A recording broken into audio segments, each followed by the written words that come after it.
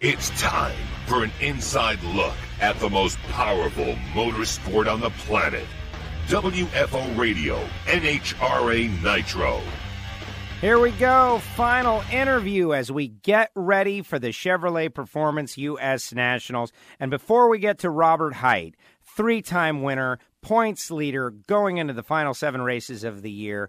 All you John Force Racing fans, thank you so much for checking out this show. We've had so many great interviews in the WFO Radio podcast feed, Apple Podcast, Spotify. Hopefully, you will subscribe and follow your favorite drivers all the way through the NHRA countdown. And then we keep going right into the winter break. We keep doing interviews, follow all the news. It is amazing. Next thing you know, it'll be the Winter Nationals. But don't say that because we have got the 2019 U.S. Nationals and Countdown all coming up. Big thanks to the sponsors who made this great week possible. Talking about Rodax Coffee and Grills.com and MagicDryUS.com, Hangsterfer's Metalworking Lubricants, Samtech.edu, getting a lot of positive feedback on the Factory Stock podcast with Kurt Collins and Leah and Daryl Heron and Jason Line, Brian Massengill. Everybody is loving it. But most importantly, we're building awareness of the School of Automotive Machinists and Technology. Samtech.edu. Talking about Frank Hawley's drag racing school, the Dragster Adventure. Did you know? You could be like Robert Hight. You could go out and drive a dragster, feel what it's like. Go to frankhawley.com to find out more. And Total Seal Piston Rings, the leader in ring seal technology. Go to totalseal.com, all you engine builders out there. It has been a fantastic week, but honestly, I am super excited. I know the Lucas Oil Series cars have been on track since Wednesday, but now it is time for Nitro. Nitro Prime Time Friday night. Everybody is fired up. I am fired up. Five sessions of qualifying, the biggest drag race on the planet. All you podcast listeners, it's just time. Let's get into it. Joining us now on Indy Week here on WFO Radio. He is a three time U.S. Nationals winner, drives for John Force Racing, is the points leader, Robert Hight. Robert, welcome back. How do you feel about this weekend? Hey, I'm ready. It's Indy, uh, it's the biggest race of the year. Um, you know, you always look forward to Indy, and you know, it's kind of Indy's. Indy is Indy, okay? It's it's the U.S. Nationals, the biggest race of the year, but you know right after that you start the countdown. So uh, you know this is an this is an exciting time of the year. It's it's you know for all the marbles from here on out. Every single run you make um, is magnified. It's it's so important, and uh, I can't wait to get going Friday night. Is there a point as you get closer? where the reality sets in of what you're about to do, the marathon, the additional qualifying sessions, the fact that you know, the eyes of the drag racing world and motorsports world at a greater level are focused on Indianapolis, Labor Day weekend, the Chevrolet Performance U.S. Nationals. You got a lot going on, I know, but like that competitor's drive, the feeling, the excitement that someone might get before the Super Bowl. You know, I think it's it it sets in when you get here. Uh, I got in I got in already. I'm I'm in in in Indy. Got here last Friday. Spent the weekend and you know you just walk through our shops okay? And we're based out of here and it's home. So everybody's excited. They they can't wait to to be out to the racetrack. You know these guys in the shops they they don't they're not on the road like all the race teams uh so they they don't get to enjoy the the cars going up and down the track and the winds and winter circles and and all that. So you know i think we we really put a lot of emphasis on, you know, not, you know, Indy because it's the biggest race of the year, the the history, everything about it. But I also think that because of our teams and fab shop, machine shop, paint and decal, the office people, all those, they're going to be out there with us, and we want to we want to get them in the winner's circle and you know let them help celebrate you know their achievements, what they've accomplished and and and built for us because if it wasn't for them, you know, we wouldn't we wouldn't be doing what we're doing. Uh, that's for sure at John Force Racing. So you got a couple of championships under your belt, 50 wins under your belt. Let's talk about these U.S. Nationals victories, though. In the where do they, you know, what spot do they hold in your heart? I think about times that I've spoken with Daytona 500 winners and Indy 500 winners, and I really want this race to take uh, that kind of you know gravity uh, when when casual fans are observing the race, when they realize this is the same thing. So if I was speaking with a Mario Andretti or an Al, Al Unser, they would, you know, they remember everything that happened that day from the morning, uh, you know, the bagpipes going through the big track around the corner. But at the U.S. Nationals, is it the same? Like when you look back at your U.S. Nationals victories, do you feel that intensity? Can you remember moments and thoughts from each of your victories? Yes, I can. And you know what's funny is before I ever won Indy, I'd already won some races. It wasn't like you know that um, was going to be my first win, but I'm not kidding you. The first time I was in the final at Indy and ended up winning, it was 06.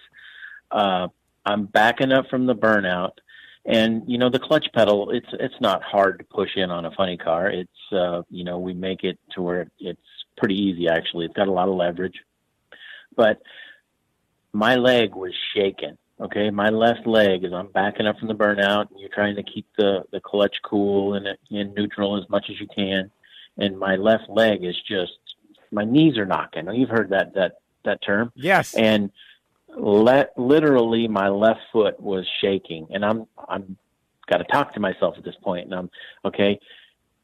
This is big. Yes, it's big. It's Indy, but if you want to win it, you better gather your thoughts and get to get you know, get it together here, okay? Because you're a wreck right now, and you know, pretty quick, you're going to back up. You're going to have to stage the car and leave on time and drive it, and you better gather it up and and get your act together here.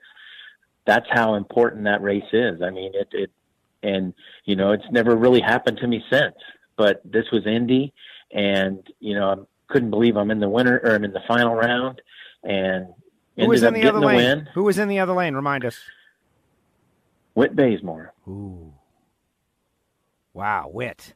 I think honestly, I think that was Whit's last funny run in a funny car, um, because after that, um, he left DSR and then went to Top Fuel. Very interesting. The next race is when Beckman took over driving that car. Wow. How about that? And then your next win was in 2008. And you shared the winner circle, by the way, in 2006 with uh, Tony Schumacher and Greg Anderson and Matt Smith. So uh, great racers with uh, you know huge numbers. And then in 2008, and that was in the middle of Tony Schumacher's just dominance, four in a row and like you know seven out of eight craziness. But uh, you shared it with Dave Connolly. Tell me about the 2008 final round. Yeah, that's um, you know, that's it's a big one. You know, when you start winning multiple indies, and now you're you're starting to talk about, you know, you know, look at the guys that you know have all the records at Indy, have all the wins. Um, Ed the Ace McCulloch, uh, Don Prudhomme. Um, you know, that's those are big, big names, you know, to be mentioned uh, with. And, you know, Ed the Ace McCulloch never won a championship, but he's won Indy in a funny car more than anybody ever. Um, so, yeah, 08 was a big one. I was still with Jimmy Prock. Uh, you know, uh, two of my three Indy wins were with Jimmy. One was with uh, Mike Neff. And Mike Neff, you know, had really good luck at Indy. He uh, he won it as a driver. So uh, actually, I think he won it twice. Twice, back to back. By the way, how great is Neff? Yeah, is Neff totally like underrated as a drag racing personality star because he's cool? But given if you just list out all the stuff he's done and that he's won and where he's done it and how he's done it, like I don't know if the guy gets enough appreciation. Yeah, Mike Neff, he was good. Uh, you know, had fun driving for him. Um, no no no worries. I mean, he's he's won it as a crew chief. He's won it as a driver, and uh, you know, Mister Miss he's he's steady, Mister Cool. Um, had a lot of good times with him. Uh, interesting stuff. And and then uh, you know you go on and in uh, later on in 2013 you're able to pick up another your most recent U.S. Nationals victory. Yep, that was what that one was with Neff, and uh, you know, that was the year that we had we switched. John had switched us mid mid year. I went to Neff. He went to Jimmy. John went on to win the championship with Jimmy. Um, but you know, I'm I'm really really excited to be back with Jimmy and, and Chris Cunningham. Uh, that's that's where I feel like it, it's home. And you know, they went on to win uh, Indy with with Beckman, and they actually doubled up with the the the shootout, the Traxxas shootout at the time, and you know, so we all we all know what we've got to do. We've all won this race. Uh, I, I would like nothing more than to you know win it now that Chris is here, Chris Cunningham, and the new the team we have around us. Uh, we all they all live here. Um, in fact, I think they're real close to the racetrack, so uh, I think it would be a pretty fun celebration. You know, come Monday night if uh, if we can get this done. You know, for the fourth time, that that's a pretty cool number. Winning Indy four times, and I've also been runner up uh, twice uh, once to Ashley. Uh, I think I was ahead, and my car blew up, uh, across the finish line on fire. And then another run or another year, I was runner up to Mike Ashley, and you know uh, I was ahead in that race, and our blower drive broke, and then the car just quit. So uh, I had a lot of a lot of final rounds here, and, and, um, hoping about, to hoping to add another one. Well, exactly, and uh, to me, that's the interesting stuff, Robert, because we get to see you guys, and the drivers get all the love. That's just a fact. You're the face of the deal. You do the most talking. Uh, you know, your face is on the rig, it's on the T-shirt, that kind of deal. But you are the first person to say that. Look, it's the crew guys and it's the crew chief that give you the car that you can win or lose. Like you get you get the tool that you can take the victory. I was speaking with Beckman the other day in the year that he had Jimmy. And you guys raced in the final round, if I'm correct, right? 2015. So you've yep. you've had to That's face. Right. That was it. I've had eight. I've had eight finals, or no, seven finals. I think it's, it's six or seven. It's a yeah, uh, so many that we can't even track keep track of them. But you've had to go to battle with Jimmy Prock, and you've had to go to battle against Jimmy Prock. And that is just such a unique and interesting perspective that you have, especially since you got him now. Oh, without a doubt. Uh, he's the guy you want to go into battle with. Um, number one, because he's so talented, so good. Number two, he's just a lot of fun to race with. Okay. Uh, it's just, it's so much fun racing with Jimmy and Chris. And, you know, it, you've got to have both. Okay. You, it, things don't work if, if you're not a team and you're not, you're not first and foremost best friends and you know because we spend a lot of time at the track together okay? Sometimes you're there around uh you know your crew chiefs and your team more than you are your own family. So you know it's it's all got to work. There's got to be chemistry. And you know Jimmy and I are are really close and it's it's been a good run. And I I don't want it to end anytime soon. That's for sure. And you have the points lead. You reference the countdown, uh, the countdown format. Uh, you know, we always fight uh, with. You know, depends on who I'm talking to. I'm, I'm either defending or maybe there's a, a, way to tweak it to make it better. Uh, but the bottom line is you've benefited from it, and you've been uh, you've lost because of it. Right? You've seen both sides of the That's countdown. Correct.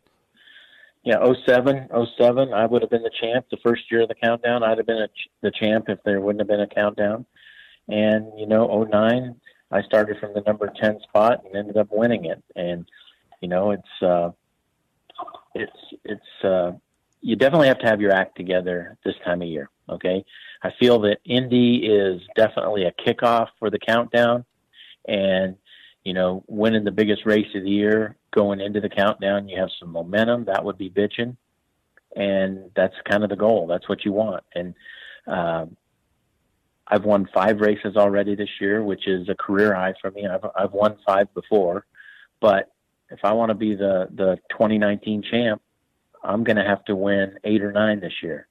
And when you look back on a season where you've won eight or nine and won a championship, that's uh, that's definitely a, a successful year. So um, we're we're not going to get the championship if we don't have eight wins. That is a prediction that I know is, is gonna it, it's gonna it's going to be the truth.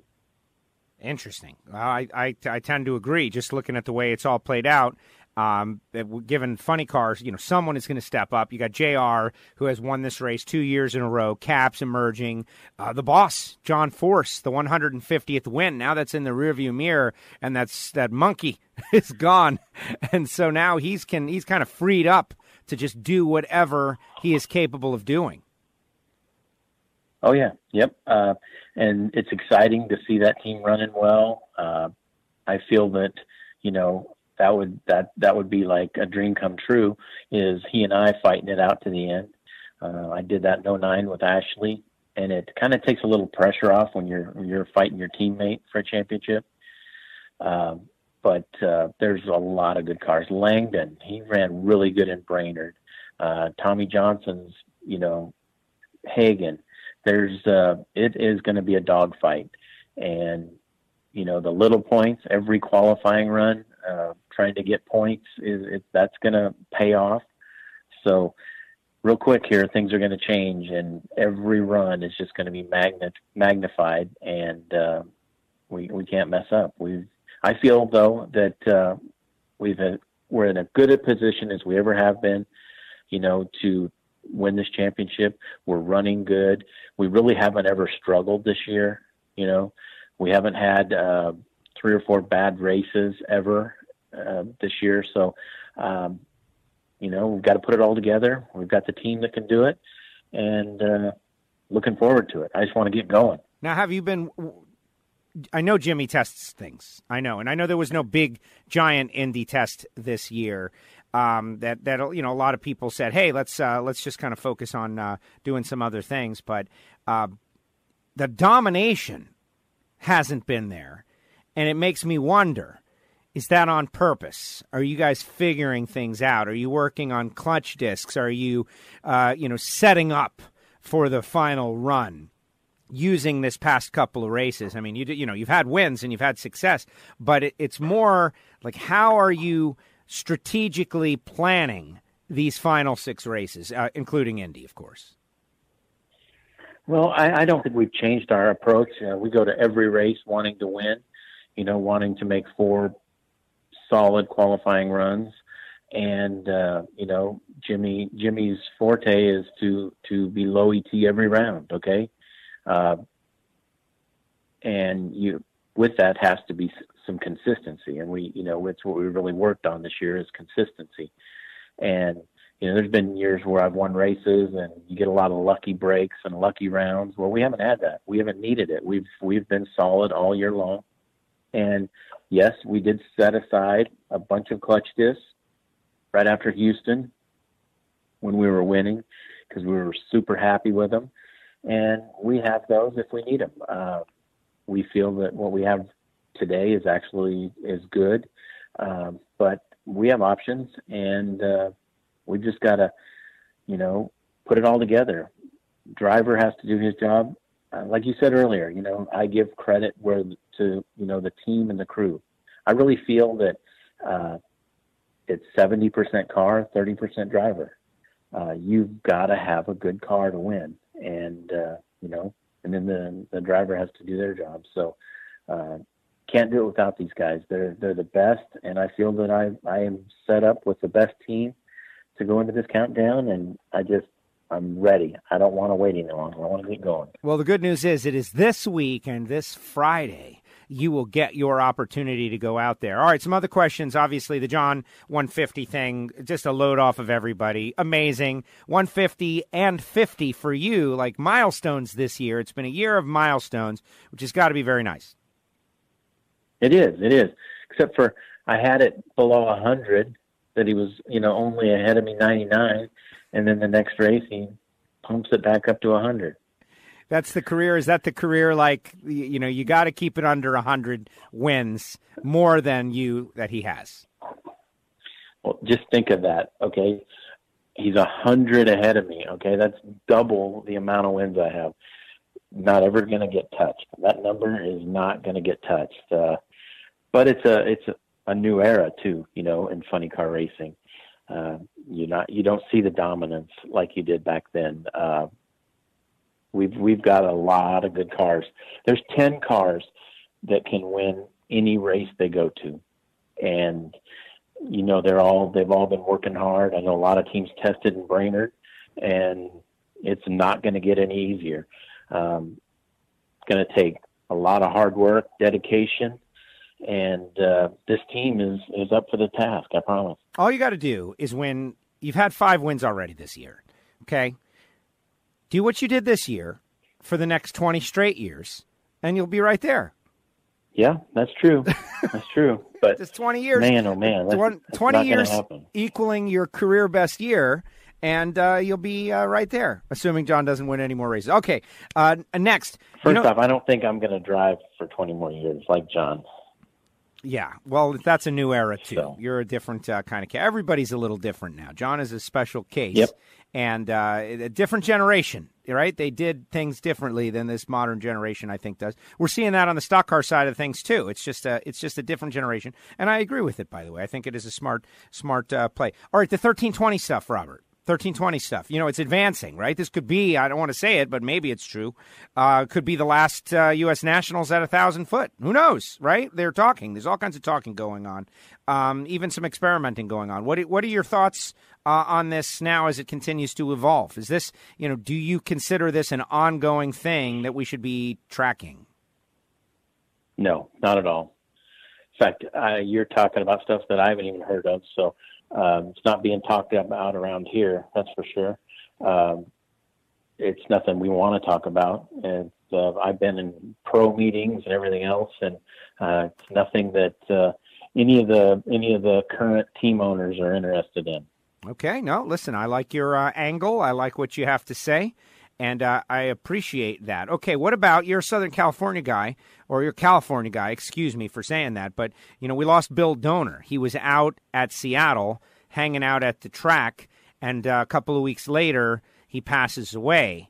And many people, uh, you know, credit him and his management of all those California racetracks, including Seattle and others, as uh, you know a shepherd for drag racing, right? Like getting us kind of through to the modern professional era. Uh, we lost him. Did you have a relationship with him? And uh, always sad to lose one of our you know great icons, people who have participated in building the sport to this point. Uh, exactly. No, honestly, he was before my time. Uh, but I've heard, I actually have met him, um, talked to him several times, but uh, I've heard nothing but good things and lots of great funny stories. But uh, it's pretty it's pretty apparent that this guy was probably one of the best promoters ever of our sport, and uh, he's he's the guy that kind of got us to where we're at today. That's for sure. Certainly, John has got many of those stories, and he told me a couple uh, out there in Seattle, which I thought were pretty cool. I don't know if that would work today in today's modern era sport, but it's certainly uh, very cool. So it's time for the game face now, Robert. It is uh, U.S. Nationals week in Indianapolis. Uh, when are you going to hit the track? What do you got scheduled for the week leading up to Q1 of five Friday night? Well, just working here at the shop. Uh, we have a big sponsor summit. All of our sponsors will get together on Thursday and try to figure out how they can, you know, increase, uh, you know, this partnership that we have and work with each other, do business together. Uh, and it's really what it's all about today is B2B.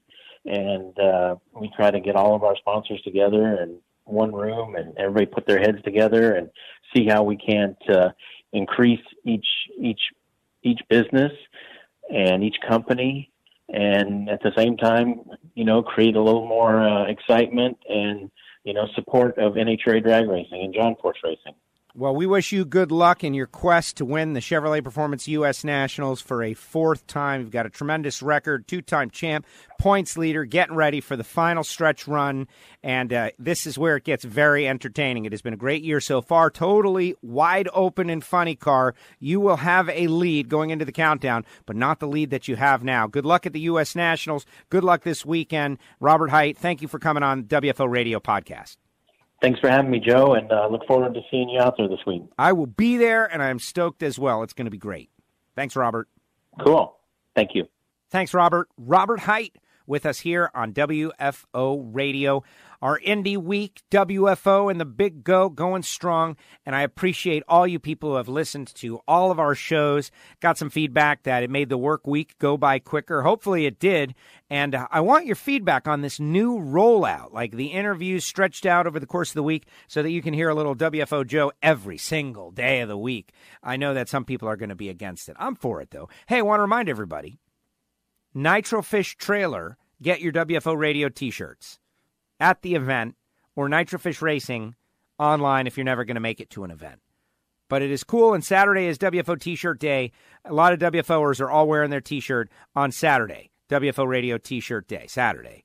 But thanks to Robert and Jack Beckman, Freiberger, Erica, Matt Hartford on the Ignition Show. How great was that? Matt Hartford calling in different style interview because Ignition is a different style show that is meant to be entertainment. What it turns out to be, every week it's different. Sometimes we achieve, sometimes not so much. Now, this is where the My Time segment would typically be, and I will give you a little bit of my time instead of forcing you to put on another audio file. This is it for the week. Of course, you know, subscribe, write a review, podcast app, all that stuff. Stitcher, tune in. We're on all of that. But now it is just me and you. I don't know that I've ever been excited as much as I am for the Chevrolet Performance US Nationals, the big go, Indy. Why? Well, there's a whole lot going on. But for me, these past couple of years, when I've joined the track announcing team and I've been out there and getting to know and see and understand, it's all about understanding what's going into it, how much work is going into it, who's doing it, how much is it costing, the effort. And the effort is extreme. And the people, they work so hard, they're smart, they're good people. I wish them all success, but they all can't have success. What will decide that? They all seem so well prepared. They're all working so hard. But somehow, some way, the cosmic forces that I always reference, and to you it might be different than it is to me, but you know what I'm talking about. The thing that you can't control, the outside element. Who knows what it is or what causes it? You were a good, helped a little old lady across the street. Maybe you get a little good luck. Or you took somebody else's shopping cart. Maybe you get some bad luck. Or maybe it's not about luck. Maybe it's about preparation. You were yucking it up in the pit area and you didn't focus. Or you, who knows? Joe Costello came by on the Mellow Yellow Walking Tour and featured you, and the goodwill of the fans cheering you on propelled you to victory. We just don't know for what reason whomever wins the U.S. Nationals will win the U.S. Nationals. That's the fun of it. And in all categories, we got the Mickey Thompson Top Fuel Harley Davidson World Championship on the line. Ty Tharp, Doug Vancil, Bo Lane, who was injured in a horrific crash out there in Seattle, is going to join us in the broadcast booth. Think of that. The moments and the big things that are happening Things that have already happened or probably down to the final round Dodge Hemi Challenge, the Samtech Factory Stock Showdown, the Factory Stock Podcast, something else worth subscribing. I know you got a million podcasts you listen to, and we're all fighting each other for your ear.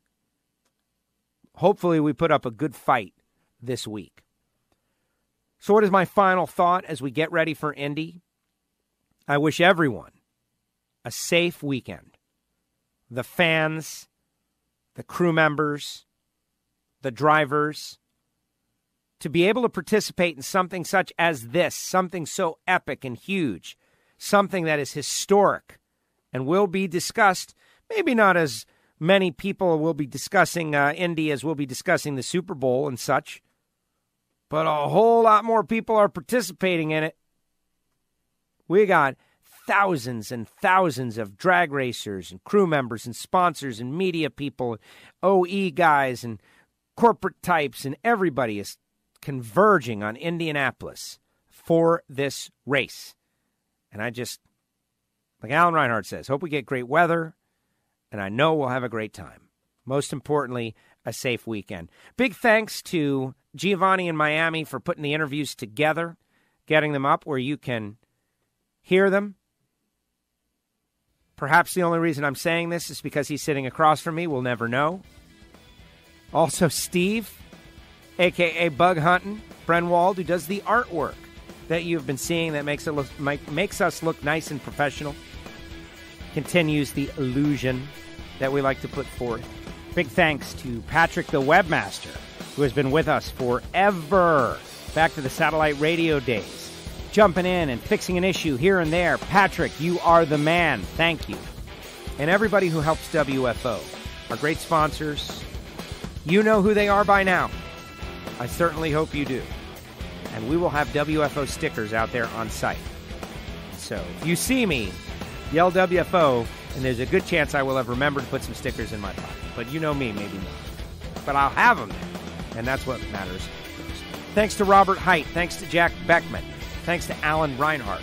Thanks to Erica. Thanks to Freiberger. Thanks to Kevin McKenna and John DiBartolomeo and Ed Fetterkyle and Hank the Crank and Stevie Fast. Thanks to Robert Hight, Daryl Heron, Leah, Kirk Collins, who came on Factory Stock Podcast, Jason Line, everybody. Matt Hartford. Thank you all for making this week a fantastic week. But now it is time to race. Light them up! WFO! The views and opinions of the hosts, guests, or callers do not necessarily reflect that of the station ownership, advertisers, or agencies. I love WFO radio. Oh, yeah.